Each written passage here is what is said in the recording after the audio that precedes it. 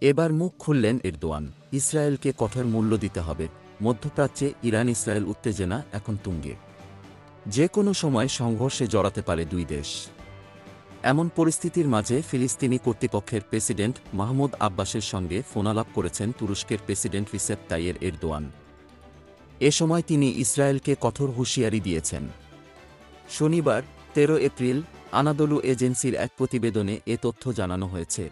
ইসরায়েলকে হুঁশিয়ারি দিয়ে এরদোয়ান বলেন, গাজায় নিপীড়নের জন্য ইসরায়েলকে মূল্য দিতে হবে। তুরস্কের যোগাযোগ বিভাগের পরিচালক ফাহরেত্তিন আলতুন বলেন, মাহমুদ আব্বাসের সঙ্গে ফোনালাপে এরদোয়ান বলেছেন, জাতিসংঘ নিরাপত্তা পরিষদের প্রস্তাব, বাস্তবায়ন সহ গাজায় যুদ্ধবিরতির জন্য সমস্ত উপায়কে বাস্তবায়ন করতে হবে। এরদোয়ানের উদ্ধৃতি দিয়ে তিনি বলেন, যাই হোক না কেন, আমরা গাজায় ইসরায়েলের বর্বরচিত হামলার বিরুদ্ধে রুখে দাঁড়াব।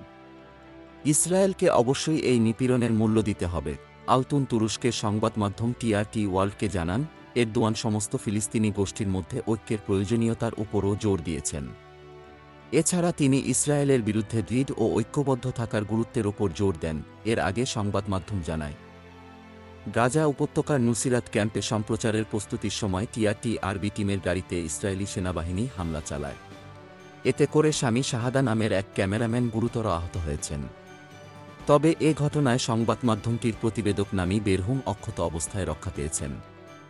সংবাদ মাধ্যমের গাড়িতে হামলার ঘটনায় গভীর উদ্বেগ জানিয়েছেন তুরস্কের যোগাযোগ বিভাগের পরিচালক। তিনি আহত সাংবাদিকের দ্রুত সুস্থতা কামনা করেন।